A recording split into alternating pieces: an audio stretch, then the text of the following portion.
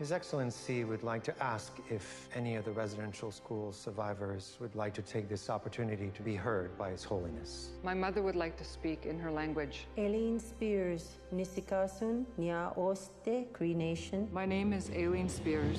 I am from the Cree Nation in Manitoba, Canada. When things are too good, I'm just scared that things will be taken away. I want my children home where they should be. It's the law, Matthew. You'd go to jail if you don't sign. Grace, honestly, Bones of Crows is an astonishingly great film. I mean, in terms of its artistry, the the story, its richness. I mean, I thought I knew a lot about residential schools and indigenous, you know, suffering at the hands of settlers, but this really opened my eyes. Did you learn anything from it? I learned uh, so much. I mean, uh, so little is taught to us through education um, in the uh, Western school system. I also know a lot. It's no secret what happened in residential schools to us as Indigenous people. But I'm so grateful. Um, thank you for you know sharing and being open to learning. I think that's kind of the goal. Is that I hope that non-Indigenous folks can keep being present and keep being curious. So, I mean, Buffy Sainte-Marie's been talking about residential schools since the 60s and nobody listened because now, because due to the graves, now we're talking. I mean, mm-hmm. this is 40 years later. I love Buffy. She, a good, uh, a friend of mine. She's she's a hero. She's uh, my, my, family. She comes to. I grew up in northern British Columbia, and she always recognizes my family because I've I have a photo when I was I think three. You know, she's holding me, and she's been a hero of mine for so long. Oh man, oh man, that is great that you know her. The role as Aline is a huge burden for any actor. You know, a lot can happen in the decades that you represent. Did you pull anything out of yourself for this that helped you? As an actor, you have to. I mean, I get a script, I get uh, a character description, I get a history, I do my research. But the one of the biggest things that I learned as a young um, actor, and I think when I started booking roles, was you can't leave yourself out. So if I bring a piece of me, especially as a as a indigenous Secwepemc woman, you know, I am a survivor. My family are survivors of residential school system. We all are as Indigenous people. So I have to bring that in. And um, I think that's what gives us our power. But primarily Aline, um, but also, you know, I, I, still I feel like I am uh, woven into it. Think of the education they will receive.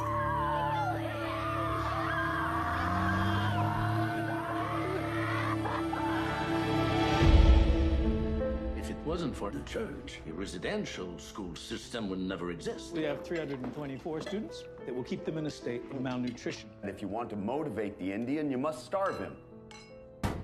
Naturally, we're seeing a rise in sickness. Be careful. You're going to see things you never forget.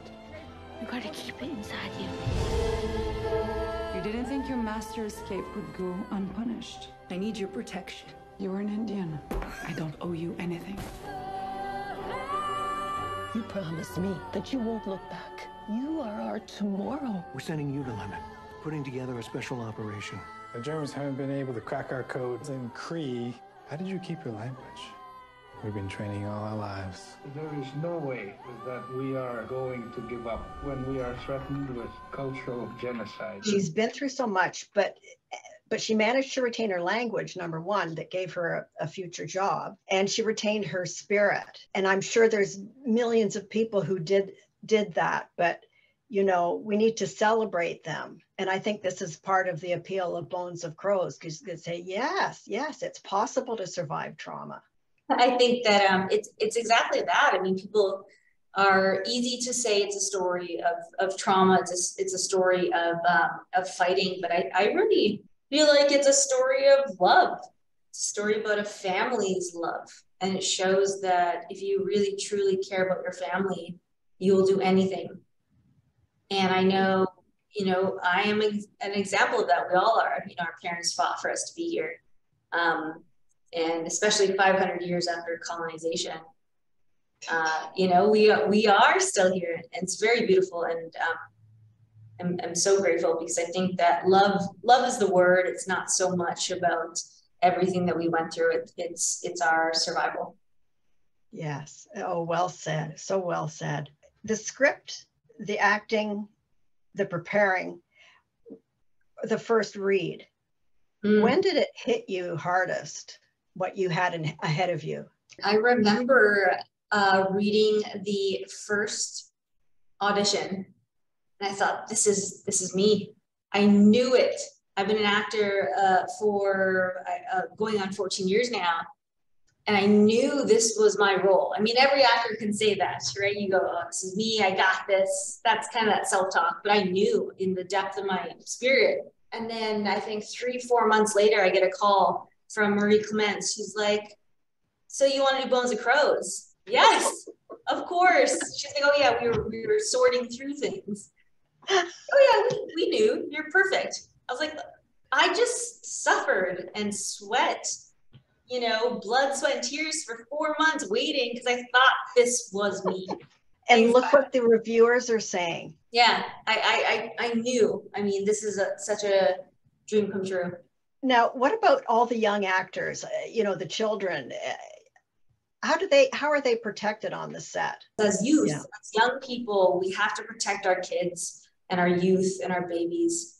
And this, you know, Bones of Crows, especially with Summer, um, who plays the young version of me, I just I adore her like a sister. And seeing the courage that she has, the power that she has, the strength, she inspires me. And I just I, I wish the best for her. And I know she works so hard, but it's up to me to and, and our team here uh, behind Bones Crows to protect her. She's everything that I wanted to be when I was that age. So I'm just really proud of our kids and we just need to protect them.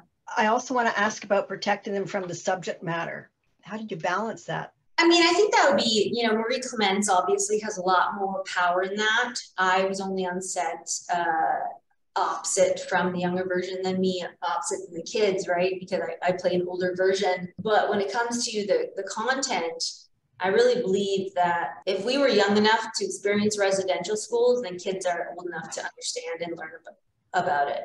I really believe that. So I think parents who uh, don't want their kids to know about residential schools. I wish that we never had to go through it too. Wow, Grace, thank you. Thank you so much for your eloquence and passion. Best of luck with the picture. Cooks Cookstone, thank you. They knew love.